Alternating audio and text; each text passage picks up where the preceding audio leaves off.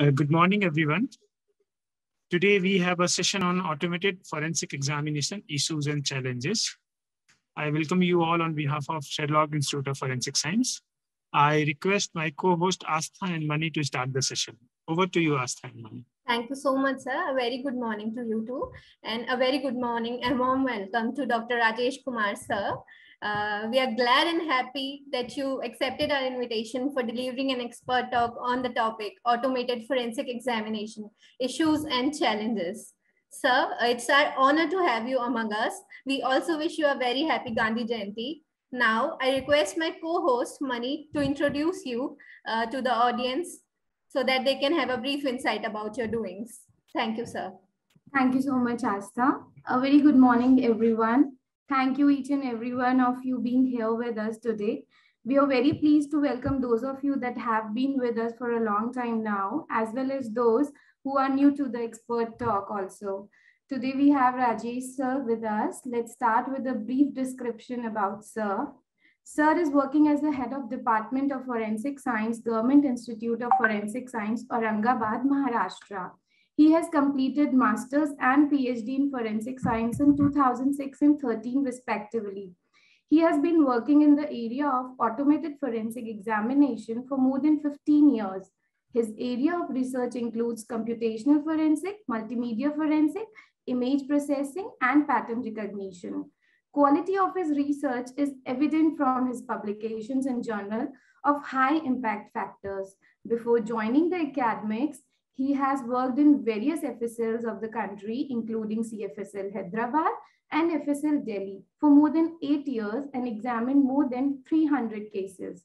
He has delivered more than 60 invited talks in various institutions, included IIT Delhi, ISI Kolkata, and CBI Academy Ghaziabad.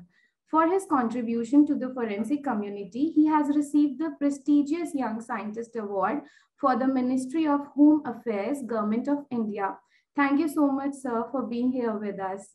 Over to you, Astha. Thank you so much, Mani, for introducing him so beautifully. Thank you so much, sir. Over to you, sir. So thank you, Astha, Mani, Dr. Ranjit, and SIFS for having me here.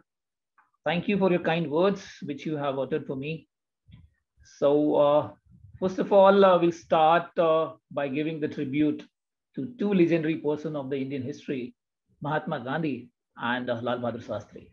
So we can uh, think that these those two persons are pillar of uh, Indian democracy, which we are having. So you can think that they have always advocated the idea of indigenous things, which has to be here in India and independence. So uh, I think uh, let me share my screen first and then we'll uh, start our discussion on automated forensic examination.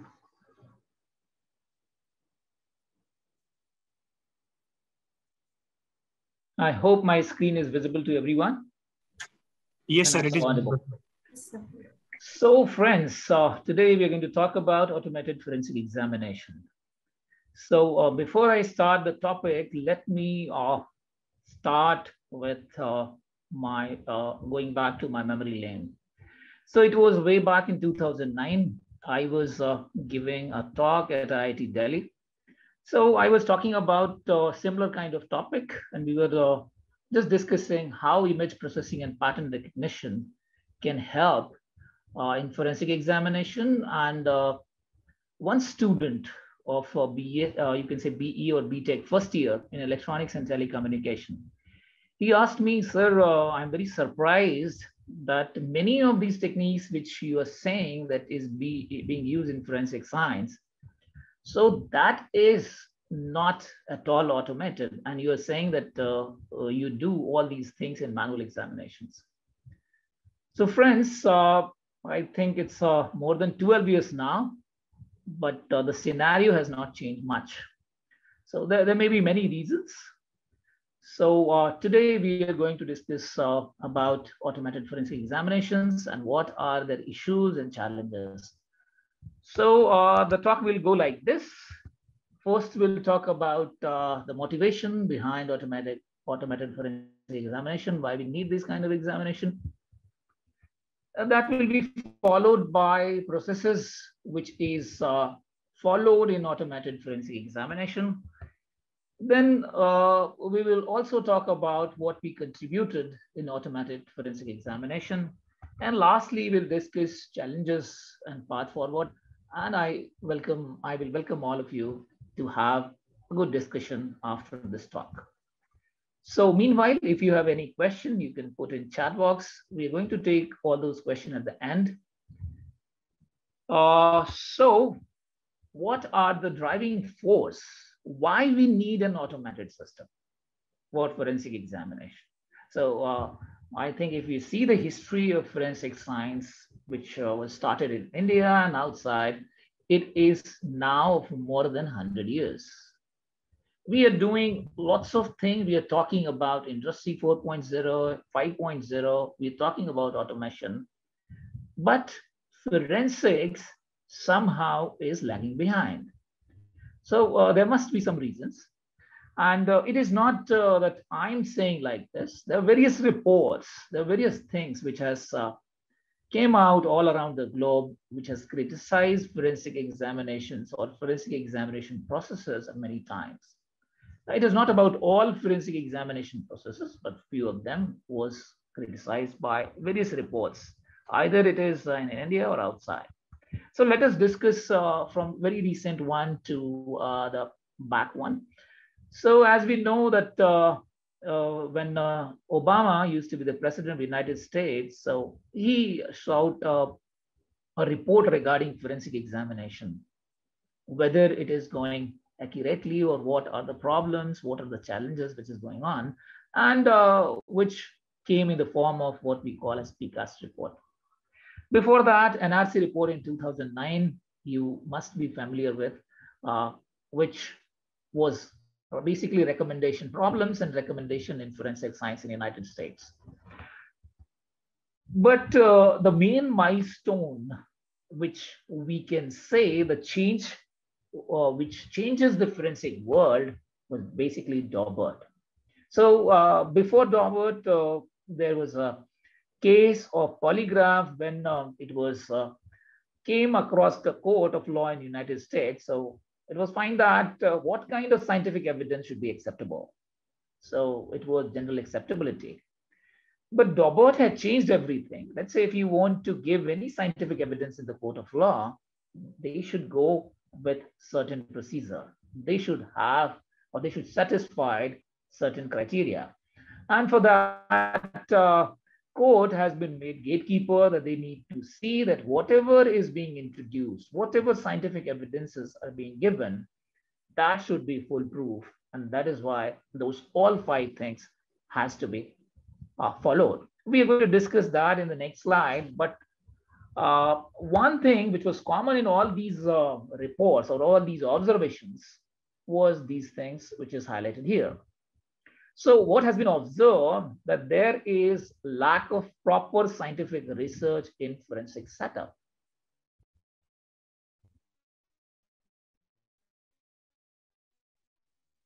We are also looking in objectivity and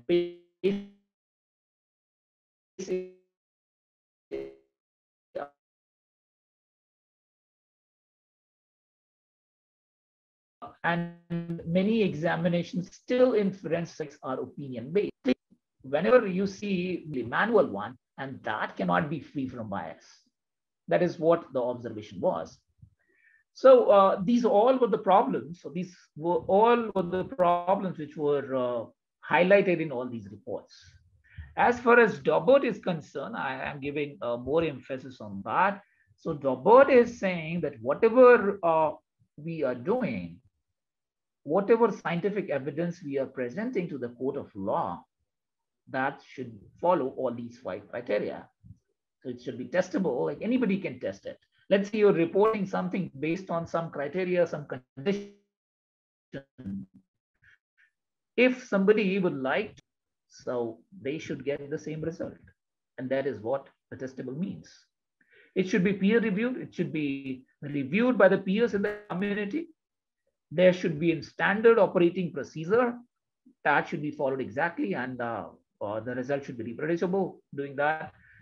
Potential error rate was the thing which uh, arises lots of problem at that time in 1993 because uh, you, you must be knowing being a being in forensic fraternity that uh, whenever we give give our result we say okay 100 percent yeah it is perfect match the match is perfect it should be the same person but uh, have you validated it statistically what kind of error we are giving have you validated that so what kind of, uh, we know that whenever we are examining evidences that is having a uncertainty, and then have we measured those uncertainty and reporting the potential error rate. So all these things was highlighted during Daubert. And finally, there, there should be generally accepted. There should be a group, a community which is accepting your technique. And then only those techniques is going to be accepted in the court of law. So uh, these are the things which was highlighted in 1993, although there was revision in 2000 of Daubert. But uh, these all criteria, these all five criteria has been uh, still important for all those evidences which are accepted in uh, United States. So uh, now uh, taking this note that uh, we need to highlight all those things. We need to address all those five things which has been, uh, uh, you can say, highlighted during Daubert or maybe in PCAST or NRC. So uh, we need to understand that what can be automated in forensics. So what part of forensic examination can be automated? Can we automate everything? So here I have highlighted some points. So let's say if we need to recognize or link impression evidences that is the one that, which you can easily automate. There's no problem about that. So if you want to link trace evidences, recognize trace evidences, that can also be automated. So person identification, of course, can be automated. As you know, the biometric is, is existing and doing well. Problem related to question documents. That was the major area which uh, got set back during uh, like after 1993 but lots of things has has been done. Standards have come. Groups have been made. So there, there are lots of things which happened.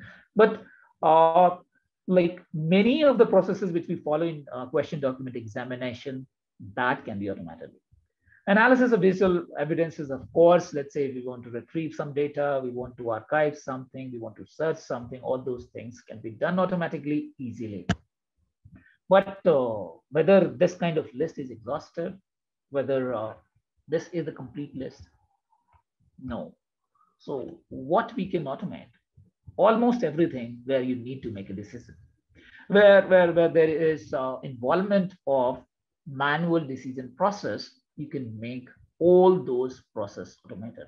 So let's say uh, like uh, uh, chemometry is a good example. Let's say uh, we have done some analysis and we need to do uh, whatever data we have got from the instrumental analysis, we want to make uh, opinion based on that. We want to say that whether the match is perfect or not, if we are comparing, or let's say if we are identifying, so can we say it with confidence? So chemometry is one example, which is saying where we would like to make the decision. So you can make that process automatic. I hope I'm audible. So yes, uh, thank you. So automatic process. So what kind of automatic process is there? So basically, when we talk about automation, we are talking about classification or clustering and regression. So what we are automating, so basically we are making classification. Classification, uh, it is different from uh, what we use in general term in forensic. For example, let's say I'm a person, I'm generating fingerprint from a particular finger. So whatever fingerprint I'm generating from that particular finger, so that is my attributes of those fingerprints and I'm the class. So here person may be the class and I'm identifying person based on that. So that problem is basically classification and recognition problem. Clustering is uh, like if we have similar kind of objects and we are making group of that. So that is basically clustering. So that can be done automatically. Regression is about, as you know, most of uh, most of you know about statistics. You must have uh, read this during your forensic curriculum, or maybe at some point of time when statistics was taught to you. So regression is about prediction. So let's say we have data. So uh, pre-processing is making that data suitable, suitable form. So what is the meaning of suitable form? Let's say we have captured a data, let's say fingerprint data we have captured. So it might happen during capturing process, some of the uh, ridges has not been joined properly. They are uh, uh, not continuous, although they are having all the ridges are having the same angle, but uh, they are not joining. So all these things we take care in pre-processing. So in pre-processing phase, those things those things will be taken care of. We'll make data suitable for further analysis, for feature extraction, let's say in this case. Okay, so uh, feature, what is feature extraction? So basically we want to describe or represent an object or whatever we do. Let's say we're talking about fingerprints. So we want to represent in terms of some characteristics. For example, let's say we have here apple and banana. So let's say we want to represent an apple. So how we can identify, how we are identifying that this is an apple. So there may be, there may be shape, which is uh, uh, which is in your mind that shape uh, apple is like this, or maybe the color. So depending on that, you are saying. Similarly, uh, for banana, you may have shape, you may have color, idea that, okay, banana is of this shape and this color, maybe sometimes texture also, like in apple, if you see the texture is like this, so that may be, that may be apple that may be banana. So uh, these are the things basically we talk, we means uh, which we mean by feature. So feature uh, should not be understand like, oh, we are saying that, okay, we are extracting features. So it does not mean that we are doing very complicated thing, not like that. So it may be very simple things also. Only thing is that, only criteria is that it should uh, be representative and describing that object well, which we want to identify. So uh, that is what we do in feature extraction. I'm not complicating these, these things by introducing features like SIFT, feature like uh, HOG, feature like many other features which are existing in machine learning things. But we know since we, most of we are from forensics, so uh, most of these concepts are new to us. So that is why I'm uh, keeping the things simpler so that we can understand it well. Okay, so mm, now the thing is that we have had some features, but whether these features are good or bad. So features may be of three kind. So it may be a good feature, it may be a bad feature, or it may be a redundant feature. For example, let's say uh, work has been given to a group, right? If uh, five person is doing that work and two person is doing that work. So two person is doing the same thing in five hours and five person is also doing that work in five hours. It means what? There are some repetitions. We don't need that much of persons, right? Similarly, things happens with the features also. Uh, like in case of, let, let me give an example of bad features. So let's say uh, two persons are doing the work in five hours, and when you are having five persons, they are doing the work in 10 hours. So it means there is some disrupting element which has to be removed out. So uh, that is that is what the meaning of feature selection is. There are many techniques. Uh, basically, three types of technique we can classify all of them. One is filter, wrapper, and embedded. Filter is uh, basically kind of technique where we consider each feature independently. So let's say if we have 10 features, so we are evaluating every feature independently, and there is no interactions between features. So there is something called teamwork also. Like if we work in team, we can do well. So that is not considered here in filter method. So that is based on some criteria. Maybe we can uh, uh, uh, apply any any kind of parameter, maybe entropy or maybe t-test based criteria we can have there. And in wrapper method, we, we take care of interaction between the features. So let's say if one feature is doing good alone, but if we are considering two features, so whether the performance is increasing or decreasing. And that will be the thing when we will say that we need to discard the second or we should keep the second. And embedded is uh, during classification, during recognition, feature selections is also being done. Examples are many, like one is FSML, which is feature selection through multi machine uh, multi-layer perceptron. So uh, these are uh, the concept of what we call as feature selection. Then is classification. So classification um, means, let's say, we have been given a problem of identifying or uh, separating between banana and apple. So we, we want to we want to uh, identify banana and apple. Of course, they are two different classes. So we need to find out, we need to learn a boundary which can discriminate between these two things. So as you can see here, so maybe uh, if we have a two-dimensional data, so this is dimension one and this is dimension two. So this is one kind of data and this is another kind of data, right? And we have made, based on these data, we have learned, during learning, we have made a boundary. We have decided to a boundary. Now, if we have got some new thing, we have to say that whether this belong. So whether this belong to this class, let's say this is class one or class two. So this we need to do. So as we have decided this at the decision boundary, we can say that this will belong to class one. And this is what the simple concept of classification is. So the learning, which I was saying that we need to learn the system, we need to train the system.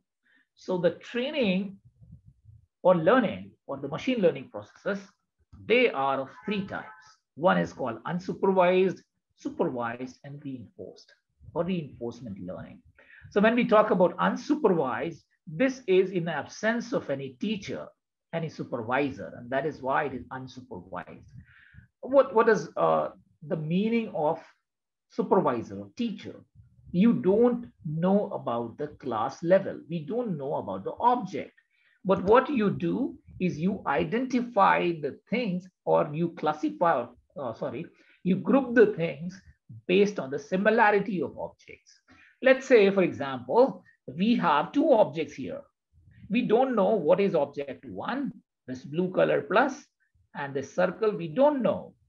But at least we know that these kind of things are having similar property. And that is why we are identifying, we are putting it one group. Similarly, we know that this kind of yellow circle is of similar type and we are putting it another group, group two. So this is what unsupervised learning is. So system or the learning machine identify the similarity in the object and based on that, it is put in the cluster. It is made in terms of the cluster. And that is why unsupervised learning is. And examples of unsupervised learning are k-means clustering, hierarchical clustering, self-organizing map, and PCA, uh, which is used for dimensionality reduction. Um, above three are for the clustering. So uh, these are some example. We don't have uh, time to go to this uh, detail, go in detail of all those things. But uh, only thing we will understand all those systems basically of clustering does this kind of thing by deciding few parameters. So those parameters may be anything. Like in case of uh, k-means clustering, we give some value of k and that many clusters are being made based on the similarity measure. Again, similarity measure, what kind of similarity measure we would like to take. So that will be decided by the user based on the problem. Or that can be optimized also based on the problem. So that can also be made automated.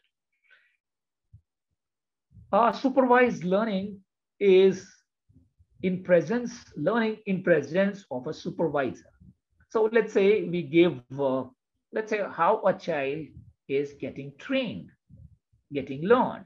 So let's say we show some object and say, uh, uh, baby, this is apple. This is apple. This is banana. And we continuously say, continuously give to the kid. And one day you see that your kid who is very small saying, okay, give me apple. And this, if you see, if you give him or her banana, he or she will say, no, this is banana, give me apple. So here we have basically, when we uh, talk it technically, we have class level. We know that what objects are. And accordingly, we classify. So based on this data, we can say that output data is banana orange. We know that in advance that here we have these kind of data. And our system identify given an unlabeled data, given a data for which level is not known, what is this? So it will be said that, okay, it is an, it is an apple. So that is what the con concept of supervised learning is. And there are many examples of supervised learning. K nearest neighbor, machine, uh, that is MLP, multi-layer perceptron, which is a kind of uh, artificial neural network, which is basically artificial neural network, support vector machine, linear discriminant analysis. So these, there are many, many things. So uh, that is uh, like cannot be discussed in more detail. If you want uh, more discussion, well, that can be done in uh, like further sessions. But okay, uh, let's say, let me give a brief idea about some this KNN and uh, maybe SVM, which is simpler to explain. So let's say this is one class and this is another class, class one and class two, and we are getting some unknown object. So in KNN, what basically we do, these are the data for which we know the class level. You know the class level, what does it mean? Like in last example we have seen. So what we are doing basically, from this level data, we get the distance of all these things. So we have, we, we have found the distance of all these things and we find that which one is the nearest one. So let's say if this is the nearest one, so we put this unknown object into this class. That is what KNN is. Similarly, uh, this SVM, what it does, it try to have the maximum infinite number of decision boundary, which we can get. But here it get the optimal one. Let's say this is the maximum margin, so we can have something like this. Uh, so uh, this is what SVM is. So let me again draw it here. Let us, let's say this is an object. So we find this is the direction, this is the direction. So we have taken the maximum margin. This will be the boundary. This is going to be the boundary. So that is what the supervised learning is in simplest word. Third is reinforcement learning. So this works on the basis of reward and risk. So let's say we don't know what kind of feature we should take and what uh, we should do. We just give the system learn by itself by doing error, by uh, doing error and reward. So that is what is known as reinforcement learning. Uh, nowadays, you must have heard the term deep learning, which is associated with reinforcement, which is kind of reinforcement learning. So here uh, we are not saying this is this object and this is not identifying based on the identical characteristic. Rather, go for doing error and correct itself during the training phase. So there will be a rigorous training phase as you can understand. Data should also be more. Now, uh, like if we want to evaluate the performance of the system which is being made, so uh, these are uh, the some of the you can say the false positive may be there, as you can see, positive. Uh, there may be some negative data that could be said as positive, there may be false negative, there may be equal error rate, precision, recall, F score, etc. There may be uh, these kind of error for a two-class problem. Similarly, for multi-class problem, there may be another set of error. And those things uh, can be uh, find out, or those can be taken using either receiving operator curve or maybe area under curve or maybe detection error trade-off. These are the various curves which we apply.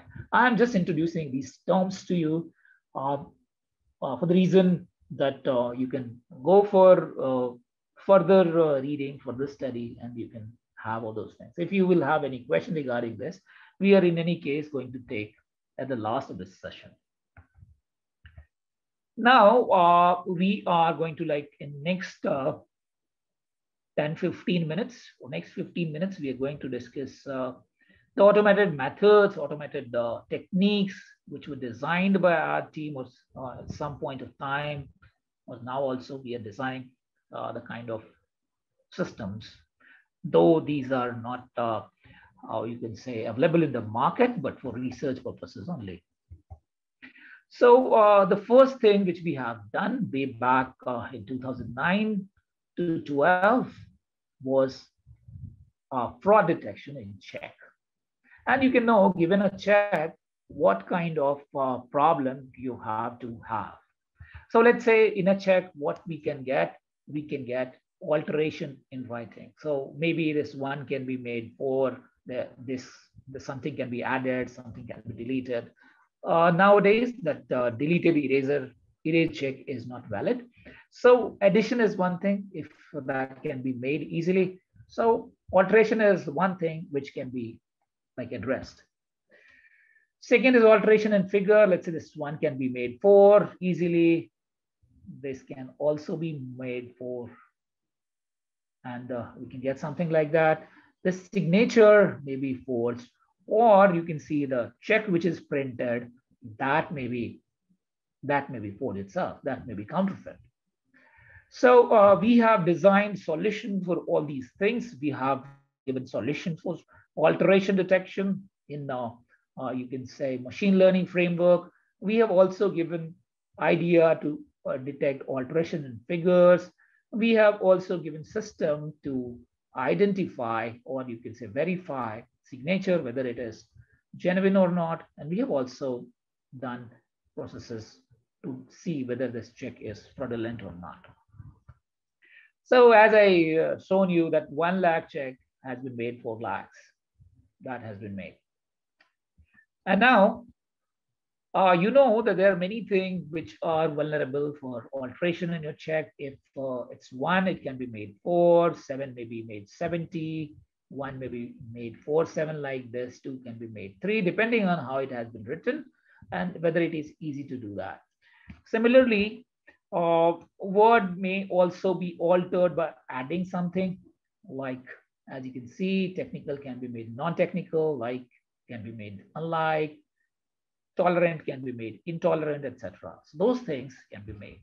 And if we want to have a generic alteration detection system, how it should work, so uh, basically what we did it, we uh, designed it as a two class problem as we were talking about verification.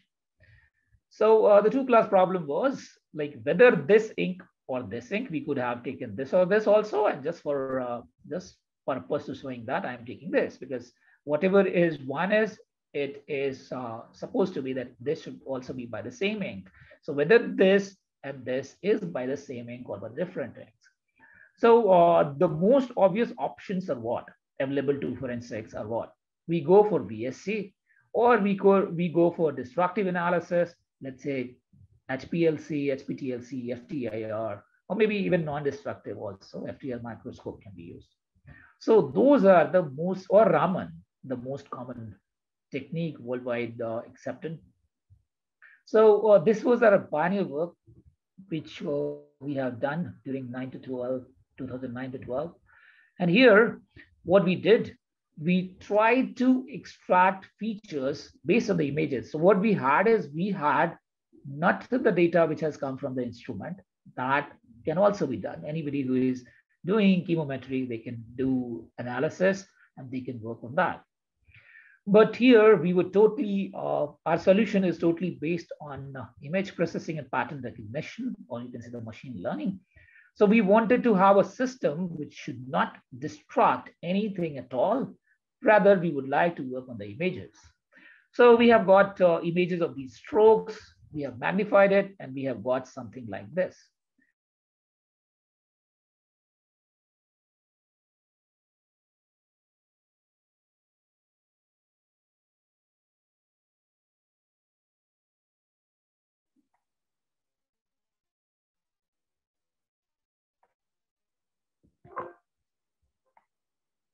Hello?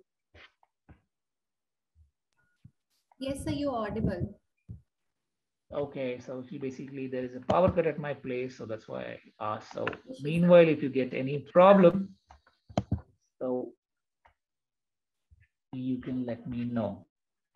Okay, sir. Okay. So uh, see, we had, uh, you can say stroke of the same, same pen, and we would like to have uh, the features from this. So as you can see, by visually looking at these two ink, it is very difficult to say that whether these are of the same pen or from different pens. So in image processing, what we do, we had had some color and texture feature from this, right? And those color and textures feature was not only based on RGB, which is the, you can say, uh, chromaticity theory of light. Rather, we have gone to opponent chromaticity theory, which says that there are some combination of colors which are not detected by human eyes. And based on that, we have extracted some features and we have a good accuracy. So like uh, we have applied k nearest neighbor, got this accuracy. So this was the, that time which we have uh, given the accuracy of our system just based on images and features. That was very primitive work, not primitive, but that was the first kind of work which has been done in uh, this domain. And that has appeared, uh, you can say, in one of the prestigious journal, which is known as IEEE Transaction information forensics and security. So that is, uh, as you can understand, that is rank one journal in digital forensic domain. So uh, this was the work uh, which we have done. Uh, automate the process of uh, detecting alteration in documents. Then uh, I, I was talking about handwriting. So even in the check, we can say that, okay, the handwriting is the same person or different person. Here, our concept was a bit different. What we have designed here is uh, we have designed our system based on considering the human as a generator of strokes. So what was the basically hypothesis of this kind of system? That whatever strokes we are formation that uh, we are forming, those are limited. And anything which we are writing, that is combination of those strokes only. So let's say how many strokes we are making? We are making 200 strokes, let's say, and whatever we are writing, that is combination of those 200 strokes. And based on this assumption, based on this primitive, we have worked on the system. Like as you can see, uh, let's say this is the stroke which has been made. So that is combination of this and this. Similarly, uh, anything which you are writing, you can observe your handwriting. So that is combination of a fixed number of strokes. And for a particular population or for entire population, we can have a code book or dictionary of all those, uh, you can say fraglets or these kind of strokes. And then what we can do, we can uh, map, make a classification based on how many times those kind of uh, strokes are being used by a particular person. So that is what uh, we have used so I don't want to go to go very technical and kind of Fourier descriptor and descriptor. No. So that has uh, thing has been done. And based on that, uh, we have made a dictionary of uh, 200 fraglets. And this was the accuracy which we have. We have got 99.24 for top 10. So most of the forensic systems which are automated that is not giving just one best match. Rather, we wanted to get, uh, get 10 best match, and that was giving almost 99.24. So if we could have more, like 20, 30, so it could have been 100%. And that has also appeared in one of the prestigious journals known as Pattern Recognition Letters. Again, uh, we have uh, designed and automated the signature verification system. So that was again based on uh, some shape features. We have got some statistical features from them. And uh, again, we have uh, done based on. So for this kind of system, which we have uh, designed, so that for that we have got an international recognition in uh, 2010, our system was placed among, among the best signature, best four basically signature verification system around the globe. and uh, second among academia. This was the performance of two academic systems which were uh, given at that time. So uh, the system of uh, Spain, which is ATVS Spain, that was giving an error rate of 16.43, which has been tested in more than, on more than 3 lakh signature, uh, a database of more than 3 lakh signatures. So this error rate you can see on uh, testing the system on 3 lakh signature and ours was 17.31. But you can see the execution time, we were just taking 4.43 seconds to say whether uh, two signatures are by the same person or not, and they were taking 7.31. So it means they were loading uh, lots of uh, features here. So that's why the time has gone up. We were taking relatively less, and that's why we were getting less time. So if we could have uh, added more, so our accuracy. Again, we have done some work on uh, counterfeit check detection as a part of that. And there we have got uh, almost 99% accuracy for best, best matching. And uh, in case, let's say we are taking top 10 or something, so accuracy may be 100%. So our recent work are related to uh, mobile phone, phone recognition from images, which we have done based on uh, uh, what we call is uh, PRNU, photo response non-uniformity, which is very common kind of noise for detection of uh, device or linking a device from the images. Similar kind of work we have done for audio also. Uh, we have recognized able to view uh, the screen if you have shared a mobile phone based on so uh, mobile phone recognition we have again had a system on that we are even working on that, on uh, uh, having various attacks on this. Let's say if we are changing formats, we are changing uh, different other things to see that whether our system is robust or not. So uh, these, uh, we have also designed a system on this and we have tested it on a database. Why is not going up?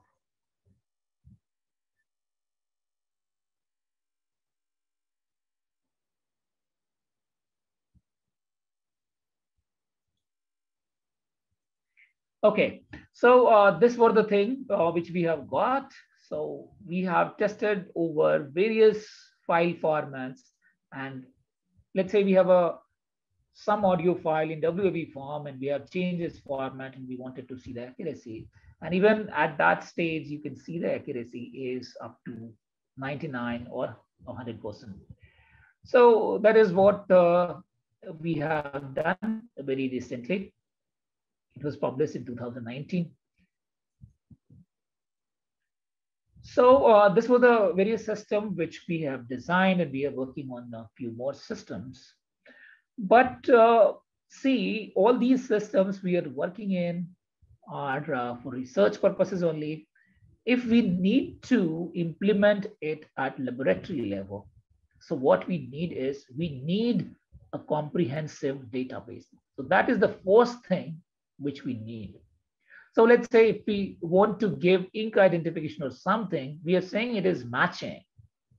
But have we checked it on population that whether similar this kind of thing is existing or not? So what is required is comprehensive database of everything is required. And this is the work of policy making. Even we can do some effort on that, but that won't be a comprehensive thing. So the first challenge or the foremost challenge to implement all these kind of uh, systems in practical scenario is we need to have a database. And that database of everything it should be comprehensive. You must have uh, observed that we purchase the systems from uh, which is made in us uk but uh, in india the database of that country is not at all useful because that is not the population we are studying in or we are examining in. So database is the first thing which is stopping us to implement the same thing in laboratory. So a comprehensive database has to be made. Uh, the authority need to take decision on that. And uh, they should make some action to have a comprehensive database. Second, why uh, this kind of system is not encouraged in uh, forensic science laboratory is because it is black box in nature. Uh, kind of uh, what kind of feature we are taking, what kind of analysis we are doing, what kind of classification we are doing. So uh, we cannot say that uh, every person in the laboratory can be teach about uh, automated methods, but yes, some awareness, of course, can be given such that uh, this black box kind of thing uh, should be uh, familiar to the persons who are working in forensic science laboratory. Okay, why again we are getting discouraging or discouragement for this kind of system here? Because uh, there is lack of confidence, lack of confidence in Indian uh, research, but ultimate will be that only Indian research will work for systems which has to be implemented in India. Like China is doing the similar kind of thing. Whatever system they are having in China, so they are made in China, made by the exports in China. So similarly, like uh, someday we need to have confidence in our researchers so that we can have those kind of systems. Again, uh, whatever uh, system now which we are implementing in our forensic science laboratory, even let it be AFIS, which we are implement, uh, implementing all around. So that is having a very huge cost. So let's say for a software, uh, how much we are giving? We are giving 70 lakhs, 80 lakhs, or maybe sometimes one crore also. But uh, this developing this kind of system in own, in our own, will hardly cost 5 lakhs. And uh, maybe if one time it has been done, so it can be like maintenance cost will not be much. And again, whenever we are buying, discouragement is due to uh, this thing also. Like, let's say we are having an automated system from outside and we are working on that. So we are always depending on vendors. So they are saying, sir, you have uh, got it for one year. So after one year, you won't get any update, anything, two years. So you, you're not going to get any update in that. Three years, you're not going to get any update on that, depending on what you are having. So those things uh, are there those are the challenges which uh, we are having. So what is the path forward? What we need to do? So we need to have an interactive automated system. Interactive means like forensic expert should know that how to interact with the system, how, what kind of parameters he or she wants, what kind of data, what kind of data he can put in, or let's say if they are changing in the data, so that should be accepted by the system. So what is required is interactive system. As we have seen that there are various steps starting from data acquisition to classification and performance evaluation. So interaction can be made at various levels. So uh, if we want to implement it in forensic science setup, it has to be interactive. We cannot uh, go uh, the totally black box kind of system. We must have indigenous research from forensic fraternity. The reason is, it is not like that this kind of system is not existing in India.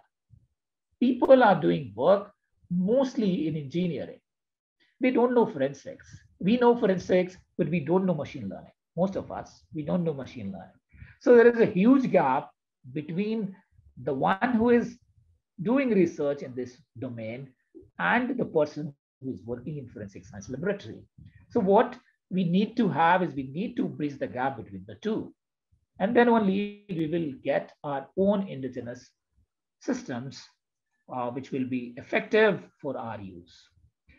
Uh, database, I was saying the database government should do something, but we can also generate database at regional and local level. Let's say if I am working in Aurangabad, some crime is happening in Aurangabad, and if we have a database of voice sample of uh, the citizens of Aurangabad, not all, but representative samples. So again, what we can do is we can have work on that, on that kind of system.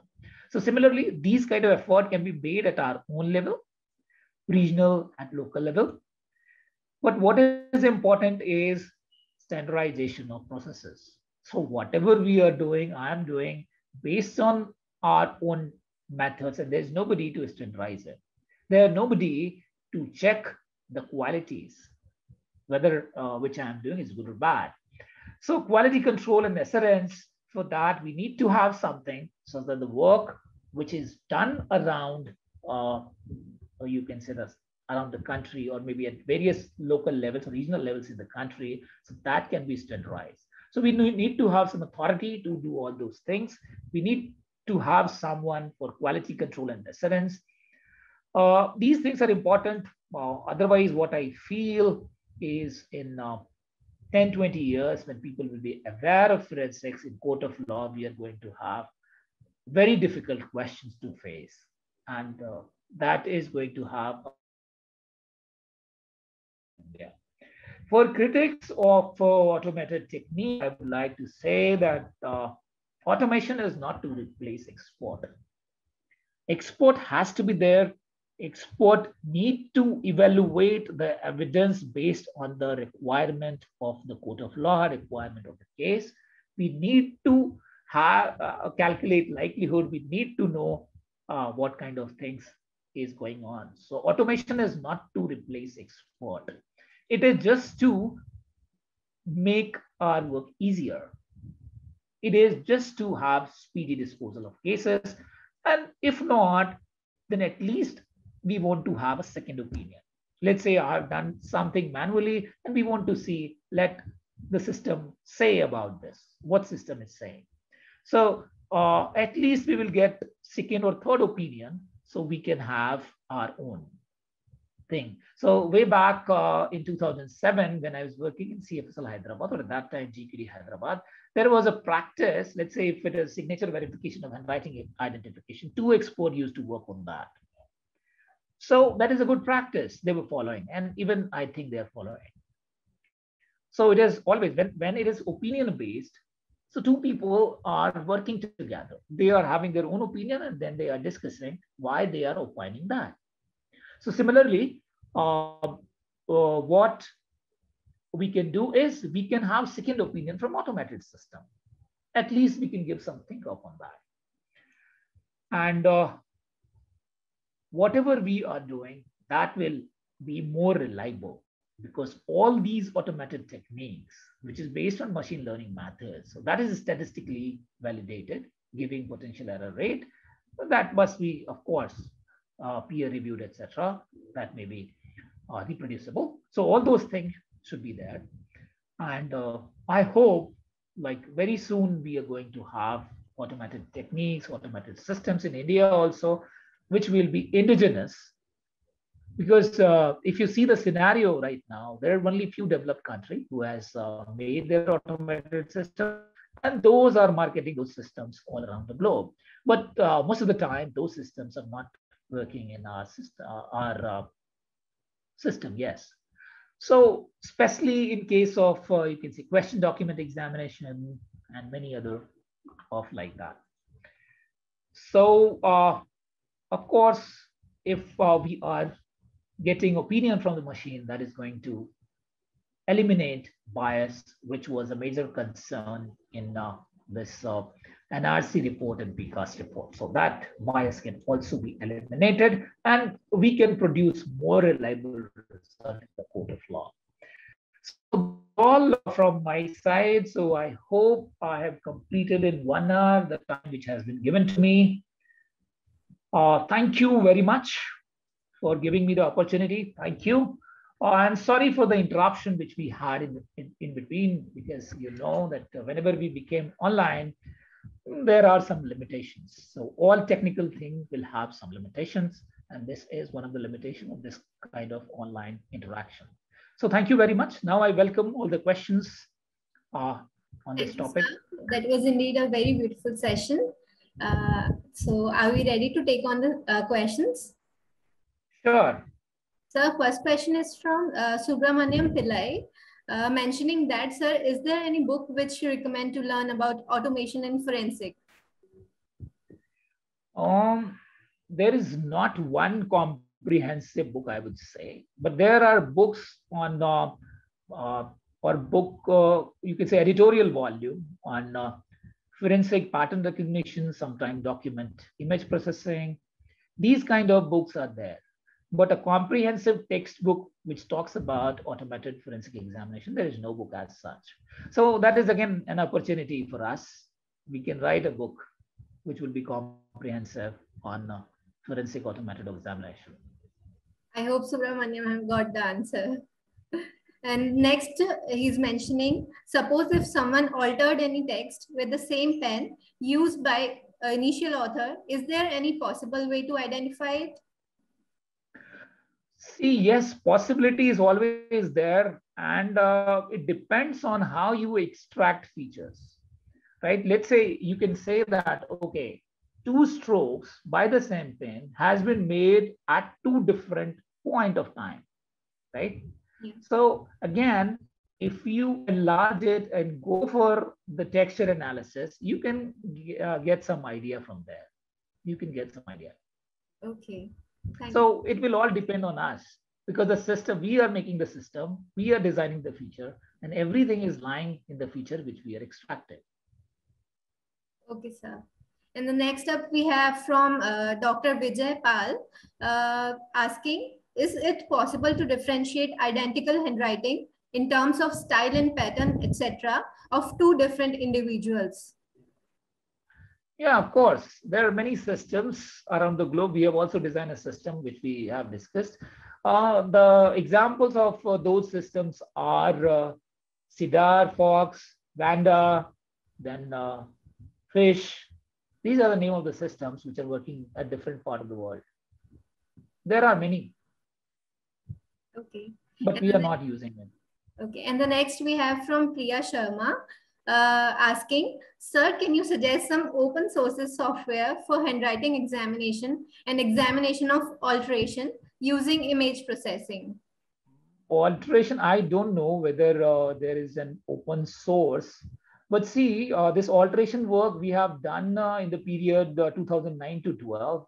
And after that, the work was taken forward by a team of ISM, ISM IIT Dhanbad so they have uh, done work on that, but uh, I don't know. Neither in our case and nor in their case, it is existing in open source. I think it is not. So Madhulika ma'am has uh, uh, raised her hand. Uh, I'm unmuting her. Good afternoon, madam. Delighted to see you here. very good afternoon, a very good presentation. But I have one question. If the person is holding two pens in one hand and writing it, can you yes. differentiate? Sorry, madam? If two persons okay. is holding two pens simultaneously. Okay. And then he is writing. Okay. Right.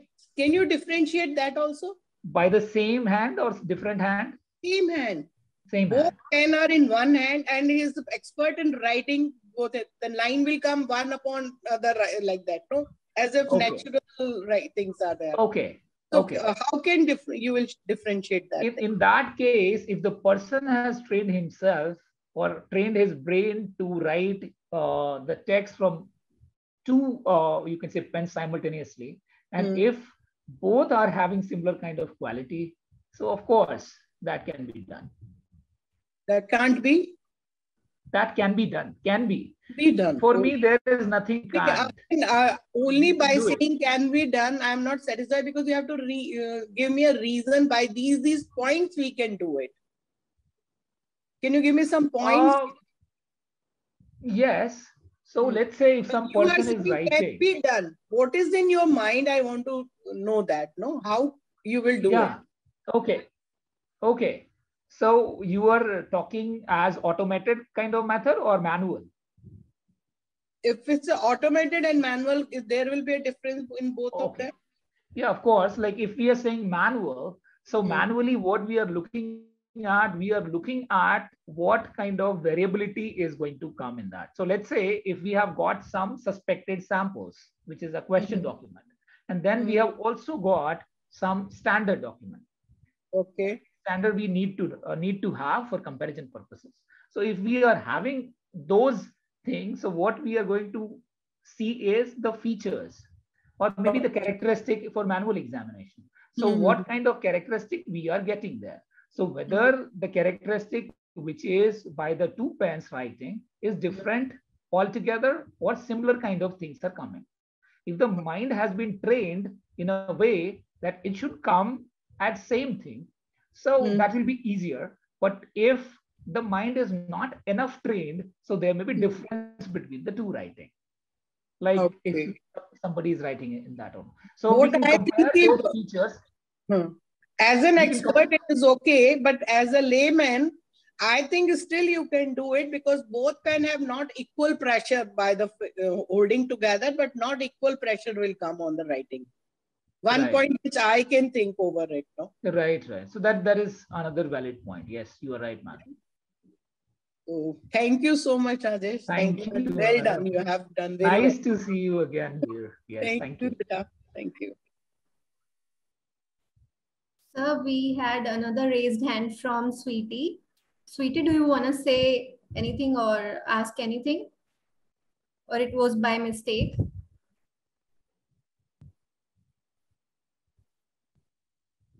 I guess, sir, it was by mistake. No problem at all.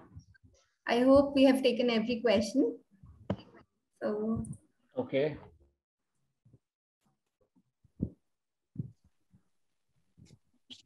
Thank you so much, sir, for delivering such a knowledgeable session. Thank you. And uh, Thank you. just see the comment from the participants. They all have uh, grab a great knowledge. So thank you so much for uh, sparing your time with us, sir. Thank you. Are you also taking feedback of uh, uh, yes, sir. yes, sir. We are taking a feedback. Feedback form is already. Yeah, so please share with me uh, later on. Sure, definitely, sir. Definitely, we will do, sir. Okay. Thank so you. Thank sir. you. May I leave now? Uh, no, Astha, over to you. Okay.